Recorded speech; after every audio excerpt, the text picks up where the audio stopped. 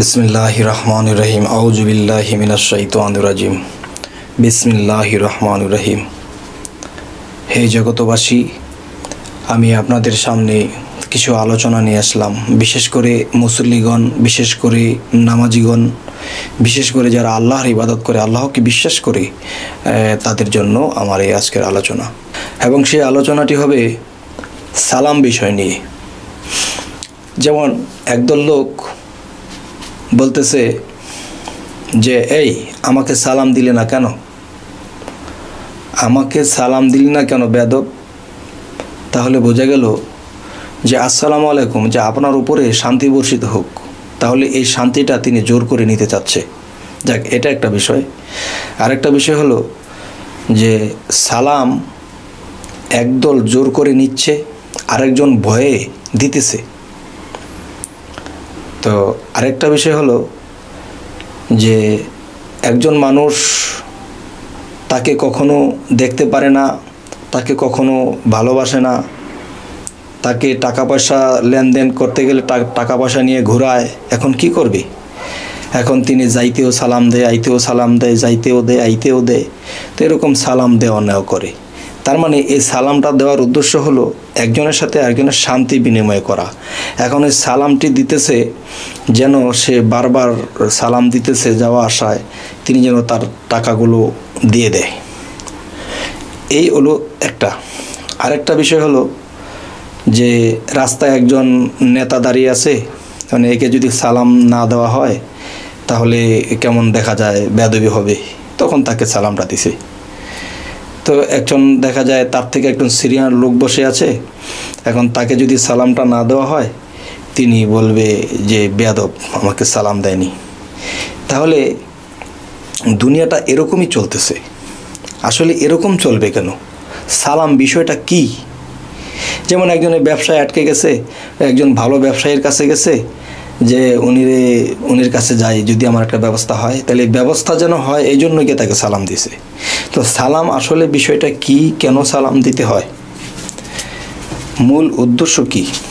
যে মূল মূল উদ্দেশ্যের মধ্যে আমরা যদি যাই, যে দেখা যায় যে আসসালামু আলাইকুম। ওয়ালাইকুম আসসালাম।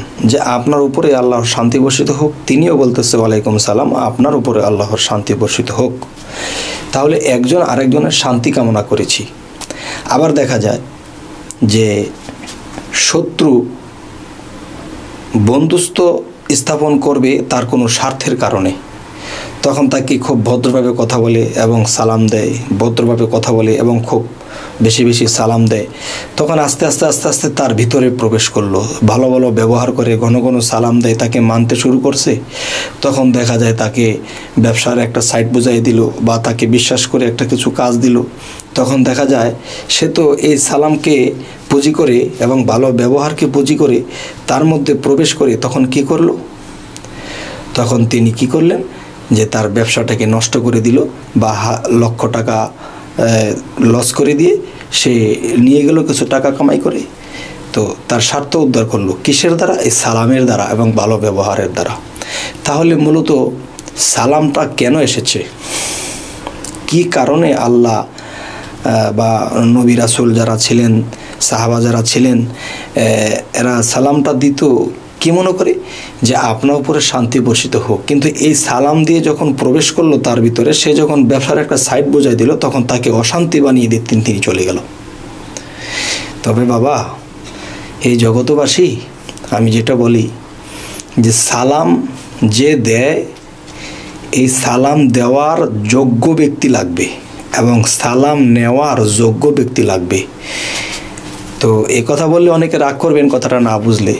যেমন যে যাকে বোক দেব তাকে কখনো পিঠ দেব না, যাকে ভালোবাসা দেব তাকে কখনো ঘৃণা করব না।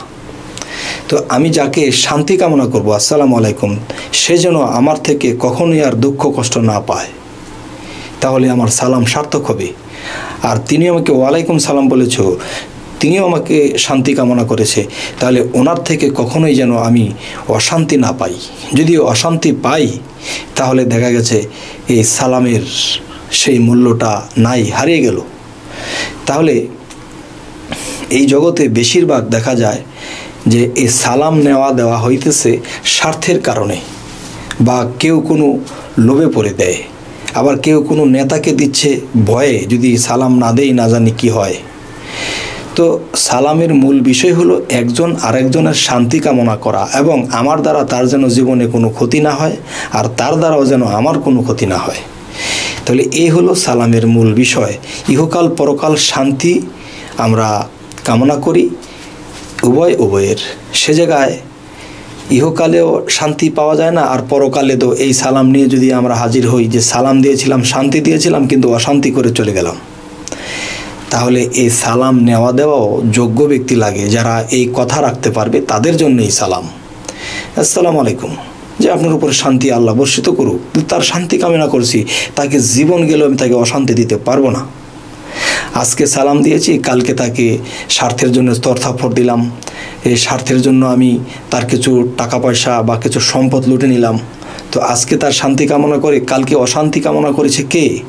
তাহলে এই শান্তি এই সালাম। কে দিতেছে কাকে? তাহলে এই সালাম যে দিতেছে, সেও সালামের মর্ম বোঝে না, আর যে নিতেছে সেও মর্ম বোঝে না। আর যে মর্ম বোঝে, সালামটা বুঝে শুনেই দেবে, আর সালামটা বুঝে শুনেই নেবে।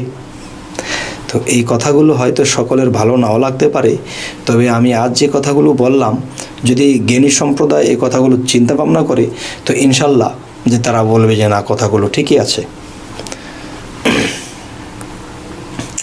তো এই কথাগুলো বলে আজকে রাখব। তো কার কেমন লাগল এই সালাম বিষয়টি আমাকে জানাবেন। তো আজ বলেই রাখছি। আল্লাহ হাফিজ।